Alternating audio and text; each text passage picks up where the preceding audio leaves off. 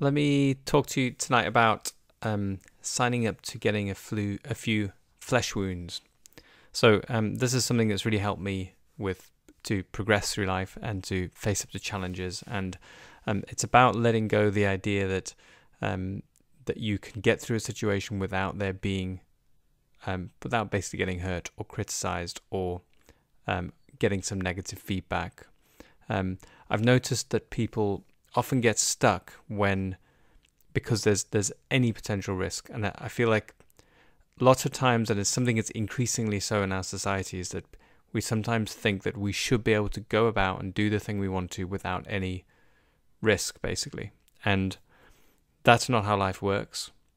And so you've got to sign up to this idea that getting hurt along the way is is part of the price you make for growth. Like growth hurts.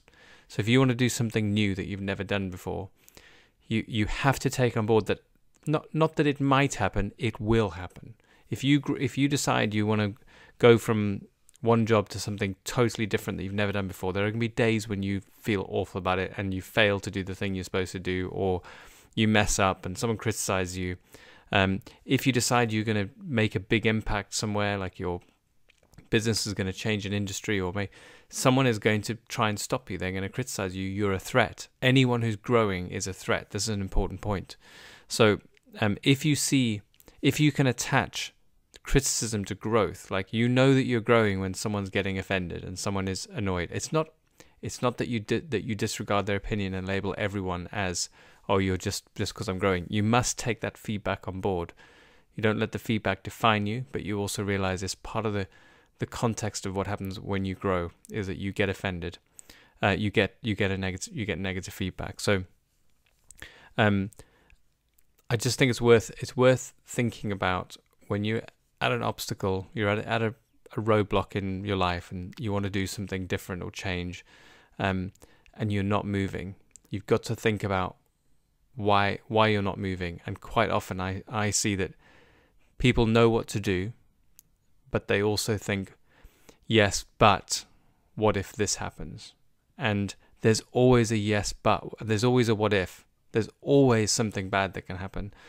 And you should take that into account. I'm not saying you ignore risk and I'm not saying you ignore feedback, but you but you're going to get something negative back when you create something positive. That's part of the process.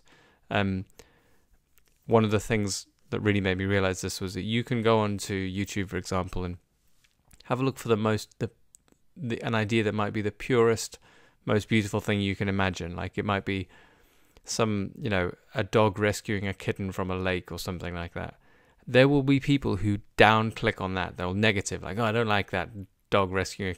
Who knows what's going through their head? But there will be people out there who will criticize it. Now, if you're if you get onto the big stage in your life, and, and I mean, I may not, doesn't mean the big stage and like you're not a celebrity, but just maybe in your industry, maybe in your business or your company, you start to do something where people know you and you start to ask for change. It doesn't matter how good your idea is, some people will dislike it. And you have to take that on board as part of the price you pay for making your difference in the world. Like, if you think that you're going to be able to eh, make change anywhere without some people not liking you for it, you got you're you're never going to move, and it's not you. You will get that negativity, but what I want you to do is to see that as part of the price for progress, and to basically sign up for flesh wounds. You never win a war without a flesh wound. You never get anywhere without hurting yourself. You never progress without strain, without discomfort.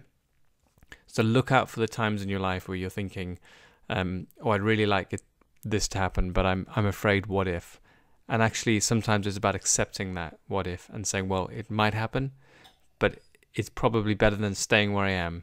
So I'm going to weigh up those risks. I might get criticized, but I also may well, damn well, achieve the thing that I've been trying to achieve for my whole life or make a good step towards it. So the take home from this, boys, if you watch it in years to come, is sign up for the flesh wounds. It's it's there's no way to progress without getting hurt along the way. And once you accept that, you're more likely to progress because you won't be staying inside worrying that you might get hurt. You'll just be out there progressing, fighting your corner, making an impact on the world. And that's what life's all about. Sorry about that. Hope that helps.